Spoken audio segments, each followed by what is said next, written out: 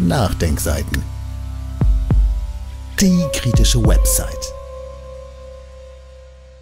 US-Diplomatin Newland räumt offen ein, Friedensverhandlungen zwischen Kiew und Moskau auf Empfehlung von Washington abgebrochen. Von Florian Warwick.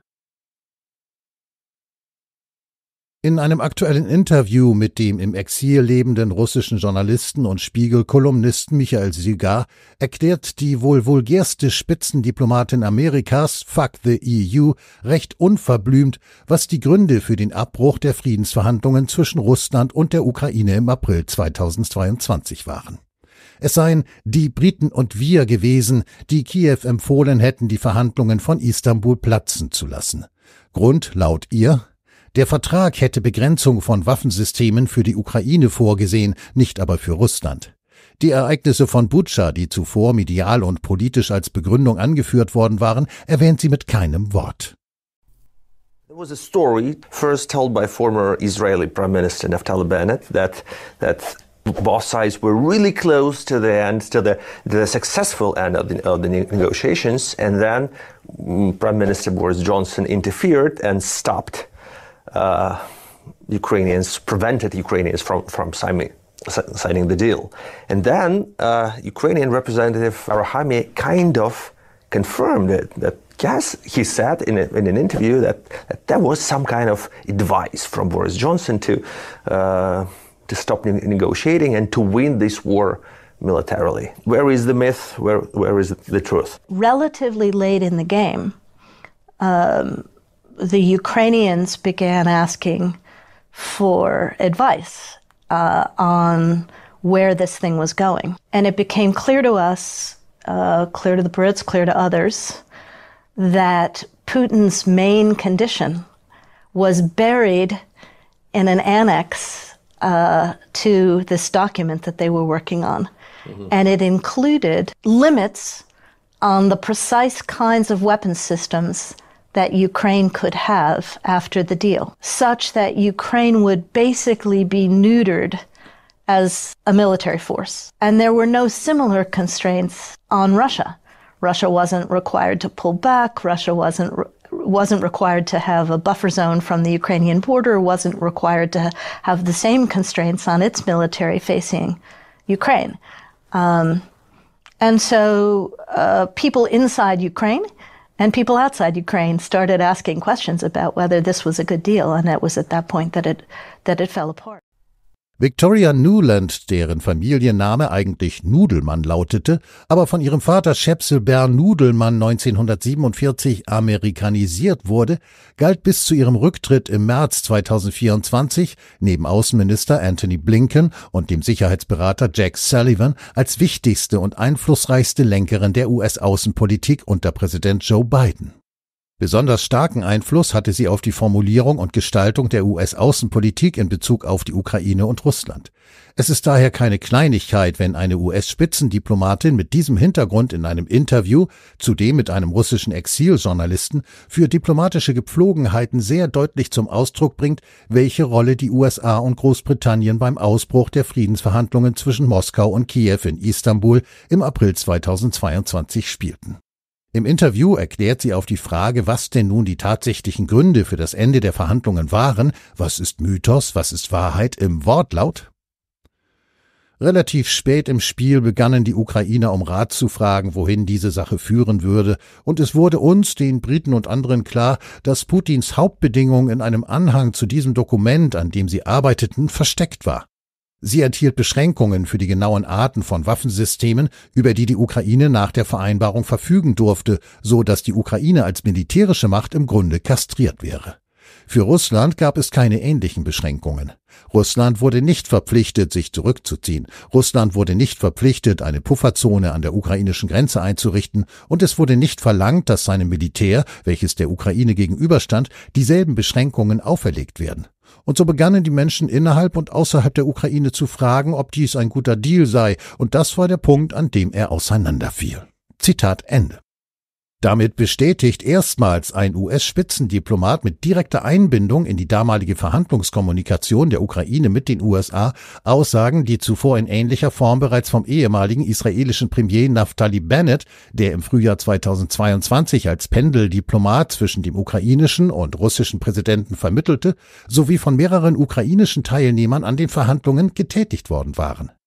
Das gesamte Interview mit Nuland ist innerhalb des Textes verlinkt. Auffällig an den Darlegungen der einstigen US-Spitzendiplomatin ist auch, dass sie mit keiner Silbe auf das sogenannte Butcher-Massaker eingeht. Zuvor wurde dies immer wieder als eines der zentralen Gründe für den Abbruch der laufenden Friedensverhandlungen angeführt. Damit steht sie nicht alleine. Sowohl ukrainische wie internationale Teilnehmer an den Verhandlungen verweisen in ihren Erklärungen, wie es zum Ende der Verhandlungen kam, auf Druck, Empfehlungen des Westens und nicht auf Butcher. Die Version des ehemaligen israelischen Premiers Bennett, Briten und Amerikaner wollten keinen Frieden. Bennett hatte in einem Interview Anfang Februar 2023 erklärt, dass er in Verhandlungen stand zwischen Zelensky, Putin sowie dem französischen Präsidenten Macron, dem deutschen Kanzler Scholz, dem britischen Premier Johnson und US-Präsident Biden. Laut Bennett lagen die Chancen auf eine friedliche Einigung gut, doch vor allem Johnson und die USA hätten schlussendlich beschlossen, dass es notwendig ist, Putin weiter zu zerschlagen, to smash und nicht zu verhandeln. Sie haben die Verhandlungen abgebrochen und mir schien es damals, dass sie mit dieser Entscheidung falsch lagen. לגרמניה? לגרמניה, כי גרמניה היא השחקנית, היא וצרפת השחקנים המשמעותיים ביותר באירופה. ו... כדי להביא להסכם, כולם צריכים לעשות דברים, מעין פרוטוקול של מה היה, ואז מה הצעדים הבאים, מה המח... בסוף מה המחלוקות במשא ומתן ומה צריך מכל אחד. משם אני חושב שביחד אפילו, אבל אני לא בטוח, עדכנו את האמריקאים. ואת מקרון. מה זה אמריקאים? ו... ביידן עצמו או ש... לא, הפעם, זה היה בדרך כלל מול היועץ לביטחון לאומי ג'ייק סליבן, לפעמים מול ביידן, כן. לפעמים מול בלינקן, ו... הם, ו... הם, הם מאוד הדוקים שם. כן. ובוריס ג'ונסון. עכשיו, אתה יודע, היו, כל מנהיג והדרך שלו, בוריס היה, בוא נגיד, אפשר לחלק ספקטרום של מנהיגים. מי יותר נוטה לקו של עכשיו צריך להילחם בפוטין. כי הוא הרע ואסור לתגמל את הרעים. נכון. ומי ו... אומר אבל עזוב יש מלחמה, מי אומר, במלחמה נכון, כולם מפסידים. נכון, ובוא נגיד בוריס ג'ונסון היה מאוד בקו התקיף, הייתי אומר שמקרון ושולץ היו בקו היותר פרגמטי נקרא לזה, וביידן גם וגם. נגיד את זה בצורה הרחבה, אני חושב שהייתה החלטה של המערב לגיטימית, שכרגע צריך להמשיך להכות בפוטין ולא לא, לא להגיע, פרטי פרטים, גם עם ארה"ב, גם עם גרמניה, גם עם צרפת. אז הם בעצם חדלו את זה? בגדול, כן, בגדול הם חדלו את זה. ובאותו זמן חשבתי שהם שוגים. אני טוען שבסבירות לא רעה אפשר היה להגיע. אם הם לא חודלים את זה? אם הם לא חודלים, לא בטוח. Das gesamte fast fünfstündige Interview mit Bennett ist ebenfalls verlinkt innerhalb des Artikels. Der relevante Part zu den ukrainisch-russischen Friedensverhandlungen und der dekonstruktiven Rolle des Westens kommt ab Stunde 2.37 der ehemalige Präsidentenberater Arestovic. Die Verhandlungen liefen so gut, wir öffneten sogar eine Shampoosflasche.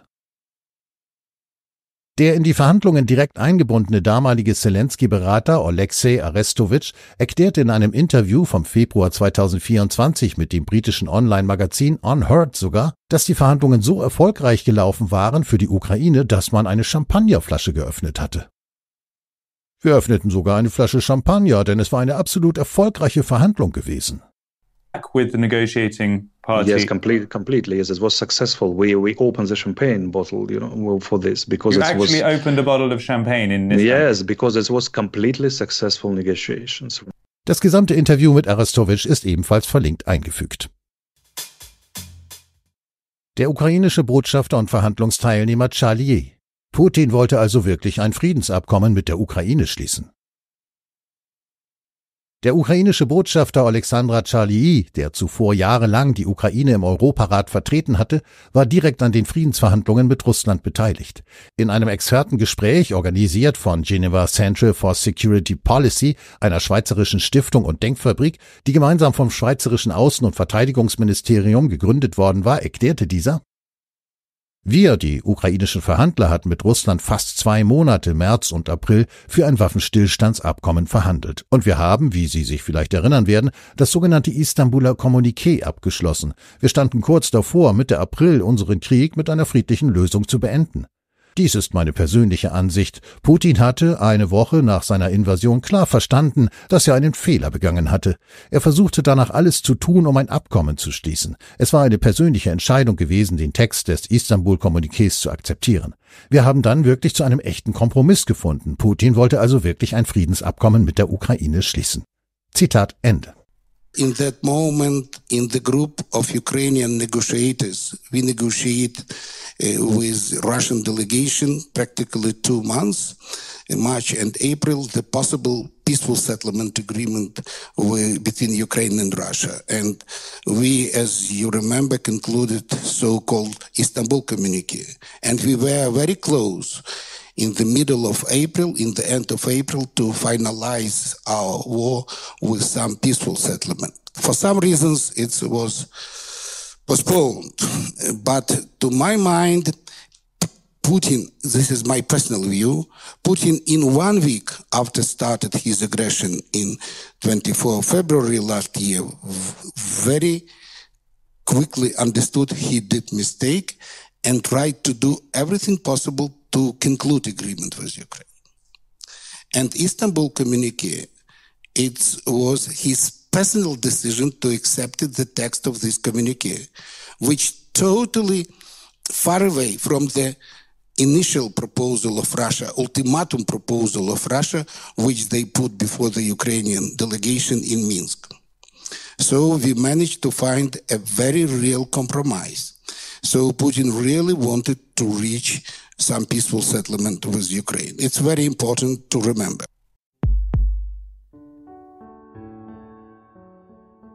Dieses Audio konnte nur entstehen, weil zahlreiche Leser und Leserinnen die Nachdenkseiten fördern und durch Spenden unterstützen.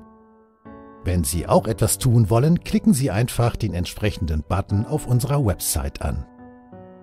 Übrigens, Sie können uns auch bei iTunes, SoundCloud und YouTube hören und wenn Sie mögen, gerne unseren Kanal abonnieren und eine positive Bewertung für uns abgeben.